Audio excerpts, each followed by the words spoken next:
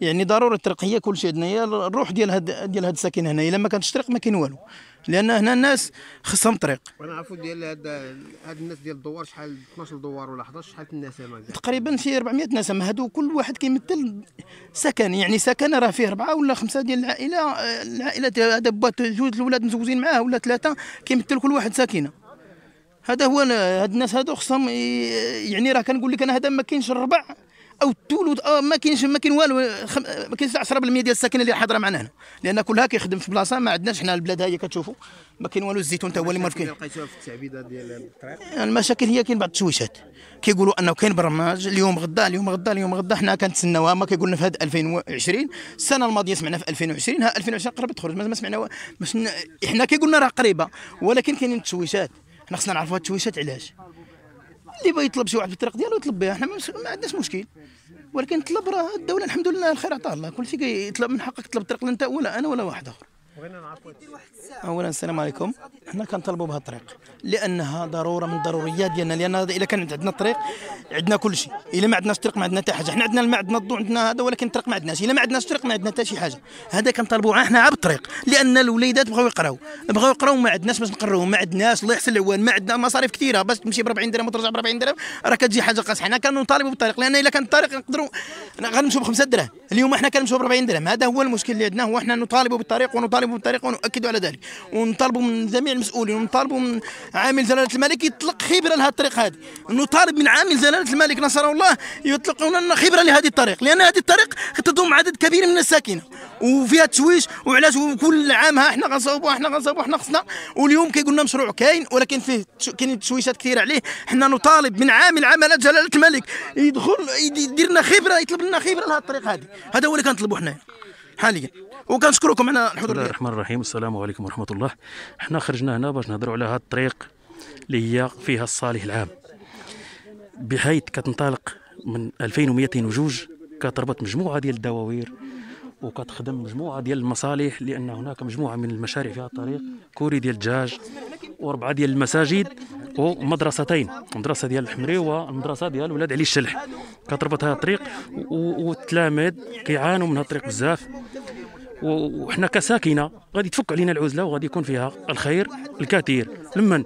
منطقة ولاد علي الشالح ثم آه، القليعات مرورا بيت حميد ولاد الحداد ثم المساعده والعناتره واحد العناتره جوج إلى النقطة هنا. ثم اللي كتفك العزلة علينا حنا ما بين بيركواد كتفك العزلة علينا حنا ما بين بيركواد ومنطقة تيت علي الشلح مرورا بهذه الدواوير المستفيدة أيضا. عكس الطريق الأخرى اللي هي طريق غابوية فارغة من من الدواوير والسلام عليكم. حنا دابا علاش دايرين هذا الاحتجاج كامل؟ كل شيء على حسب هاد الطريق. هاد الطريق حنا قلنا حنا باش غادي إن شاء الله نستافدوا منها بحول الله. نستافدوا منها باش غادي تربط من القدرون تربط من القدرون ديال باش تربط باش تربط من القدرون ديال الطريق اللي طالعه للأربعة إلى ال- المنطقة ديال الشلوح وهاد الشلوح راه مستافد واحد الطرف منها. وفيها كاينة مدرسة كاين مسجد كاين عدة مساجد وكاينه سمعتينا امس وكاينه طريق اللي غاديه توصل. حتى لهذوك الناس اللي كيحتجوا قال لك تا إن شاء الله غاديه توصلهم. راهي تما تستافدوا من هذه وهذيك غتربط منها الاخرين إن شاء الله بحول الله. ما قوته هذا اللي مدنون إن شاء الله بنا. هذا اللي كنطالبوا حنايا. كنطالبوا بهذا الطريق توصل للجميع وغادي توصل إن شاء الله إلى كتب الله إن شاء الله بحول الله. هذا اللي بغينا ما بغينا حتى شي صداع لشي واحد ولا كذا. هاد الناس وهاد الناس كلها هما اللي كاينة الهضره هذا ولا هذا كلهم راه دائرة وحدة كلهم كيصوتوا هنا وملي كيصوتوا هما بروسهم راه كيجوا غا على البهيم. كاين اللي كيجي غا على البهيمه ما كاينش حتى علاش يجي ملي كيبي يرجع خاص واش جا ما يديه. ودابا راه هذا الشيء اللي كيحتجوا ما كاين حتى شي احتجاج. الناس خاص الطريق تصاوب. وشي باس ما كاين؟ لينا وليهم إن شاء الله بحول الله. هذا هو اللي هذا هو اللي بغينا حنايا. بسم الله الرحمن الرحيم. أنه في إطار آه، برنامج محاربة التفاوتات بالعالم القروي استفدت آه، جماعة زاوية بن حميدة من واحد جوج ديال المشاريع فيما يخص آه، قطاع الطرق والمسالك الجماعية. الطريق الأولى اللي ديال دوار الحموينات والطريق الثانية بين الطريق الإقليمية 2202 ودوار ولاد علي الشريح هاد الطريق الثانية بواحد التكلفة مالية تقدروا ت- تقريبا واحد 9 مليون تاع الدرهم. بالنسبة لهاد الطريق كنا حنا اللي طلبناها الجماعة اللي طلبت هاد الطريق وصيفطنا معها واحد الدراسة تقنية اللي كانوا اللي كانوا داروها الناس ديال التجهيز. المسار الأول. آه، المشروع مكلفة به الجهة جهة مراكش اسفي مني خرجوا الناس التقنيين ديال الجهة المهندس باش يعاين على أرض الميدان على حسب الدراسة القديمة لقى في هذاك المسار الأول أنه هناك بعض العراقيل والمتمثلة في انه هناك بعض الروكارات ديال الماء دوك المنشآت الفنية ديال الماء وكاينين الأعمدة ديال الكهرباء ديال لا موين طونسيون. يعني الملاحظة اللي اللي راسلونا الناس ديال الجهة هو أنه هذا المسار ما يمكنش تدوز منه هذا الطريق لوجود هذه المنشآت ديال الماء. وديال القطاع ديال الكهرباء. يعني الاحتمال الوحيد الا بغيت تدوز من هذا المسار هذا خاص هذوك البطولات ديال الضوء يتحيدوا وخاص هذوك المنشآت الفنية ديال الماء يتحيدوا يتبدل لهم الاتجاه. الأمر اللي مكلف شوية يعني الثمن ديال المشروع ما تيستحملش هذه الحركة هذه. الجامعة كانت دارت واحد الدراسه تقنية لواحد المسار آخر اللي المؤدي نفس الدوار تقريبا المؤدي نفس الدوار اللي هو ولاد علي الشلح. تقدمنا بهذه الدراسه هذه للناس ديال آه، الجهة على أساس أنه اذا كان هذا الاحتمال ديال الطريق الأولى يعني فيه صعوبات وفيه إكراهات نشوفوا الإمكانية ديال المسار الثاني. المهم اللي كان عند الجماعة هو أنه هذا المشروع يبقى لهذاك الدوار. يعني ما يمشيش لنا هذا المشروع من الجماعة خصوصا أنه الجماعة ما مساهمش فيه ماديا. باش نقولوا مشروع التكلفة ديالو 9 مليون راه مبلغ مبلغ كبير ضخم. يعني هاد الناس يستافدوا بما أنه نفس المسار تؤدي المسار الأول ولا الثاني تؤدي لنفس الدوار.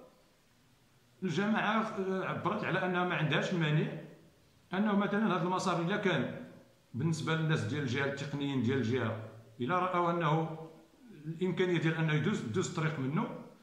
الجماعه ما عندها حتى شي مانع. ولكن الدراسة اللي صيفطت الجماعه في المرة الأولى هي الدراسة ديال المسار الأول.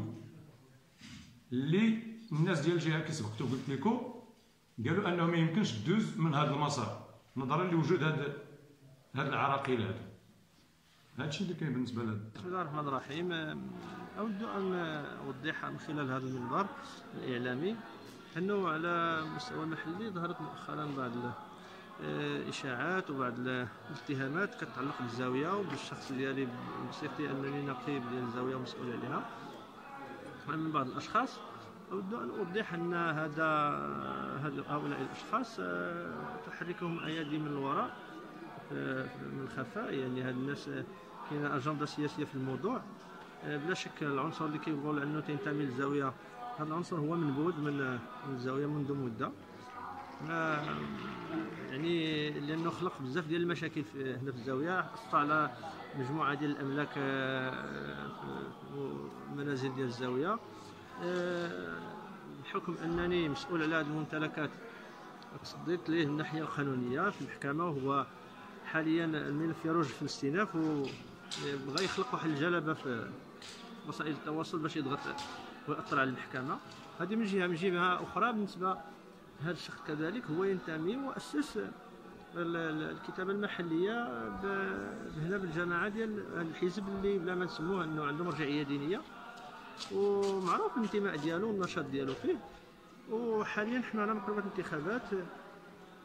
كاين ضغط من هاد الناس اللي كيحركوا باش اننا نتخندقوا معاهم سياسيا ونبتزونا سياسيا وبطبيعة الحال رفضنا لأن حنا ما كنتخندقوش سياسيا ما كندعموش وبالتالي تم تحريك هذه العناصر من أجل التشويش و